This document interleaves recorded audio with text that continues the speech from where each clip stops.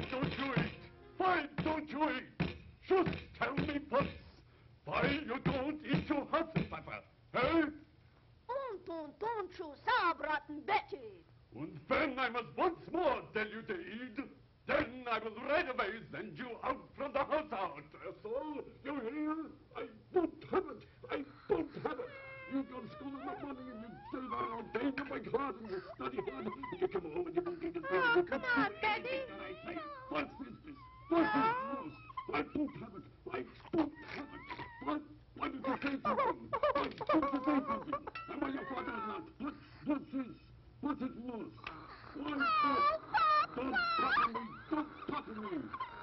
Patapata,